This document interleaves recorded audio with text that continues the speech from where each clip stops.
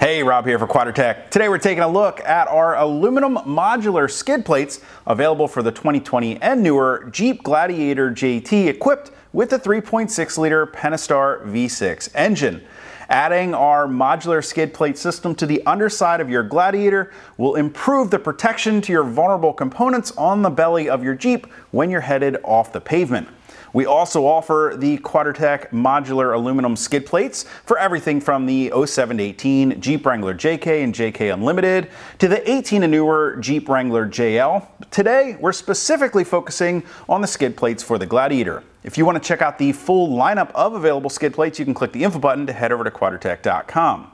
Now, the skid plates are available in a modular configuration, which is made up of an engine and transmission skid plate, a transfer case skid plate, and a fuel tank skid plate.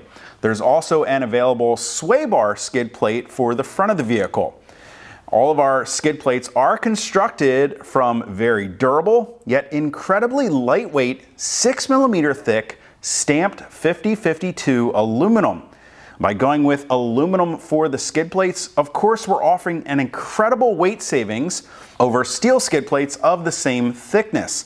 Aluminum offers a lot of other benefits as well. Of course, it's incredibly corrosion resistant and of course, the nature of skid plates is to skid them over top of rocks and gouge them up to protect the other equipment on your Jeep. And by doing so, you're not gonna have to worry about these skid plates forming rust and corrosion because that aluminum is gonna do a great job at preventing that. Of course, they're also lightweight, which makes them easy to install even if you're tackling this job yourself. Now, speaking of the installation, we've designed our modular skid plate system to be incredibly easy to install. In fact, it's a complete bolt-on system. It comes with all the hardware needed to install the skid plates, as well as heavy-duty new steel cross members and mounting brackets to go with the aluminum skid plates.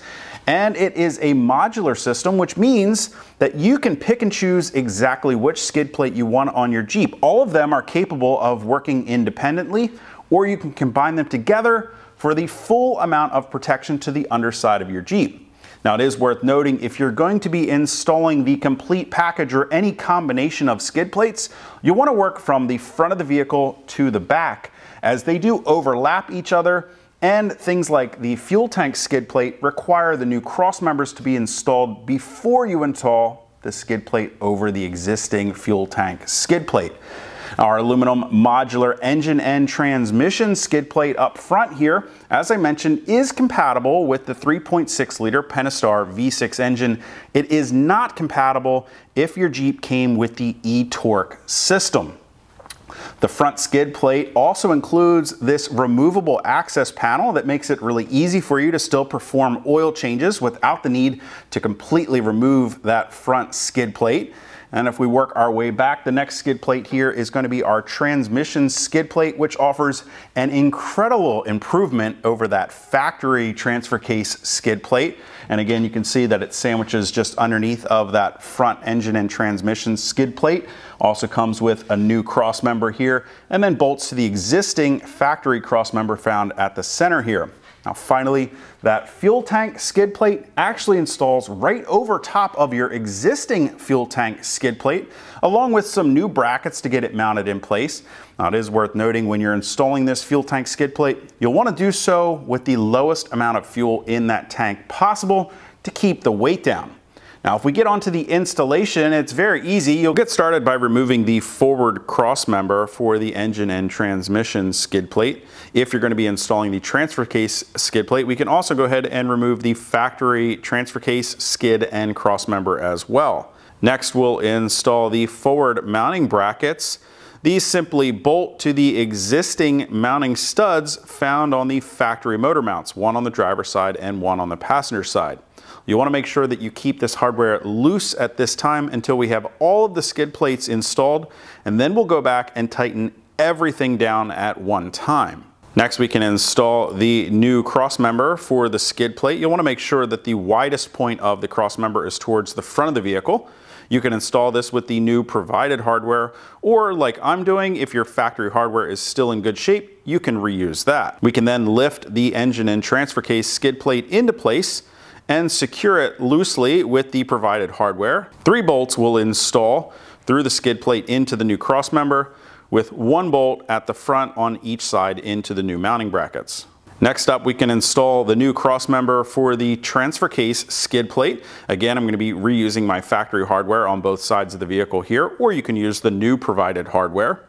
With the crossmember loosely installed, we can lift the transfer case skid plate into place, slipping it on top between the engine and transmission skid plate and the middle crossmember, and then hold it in place with the new provided hardware. There will be two bolts at the rear of the skid plate into the new crossmember and three bolts at the front of the skid plate that will go through both the front engine and transmission skid as well as the transfer case skid plate.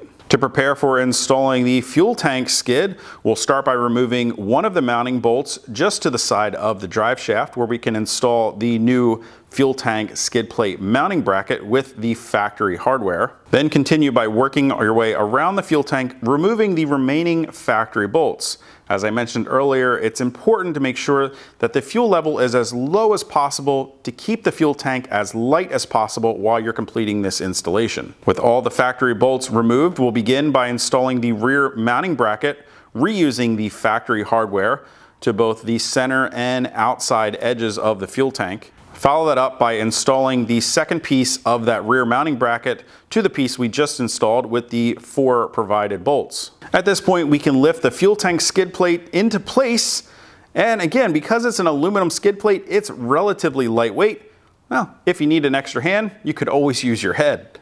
I'm going to loosely install the new mounting hardware at the rear bracket and in the center of the fuel tank skid plate first. Then continue around reinstalling all of the factory hardware sandwiching the new fuel tank skid plate over top of the existing skid plate.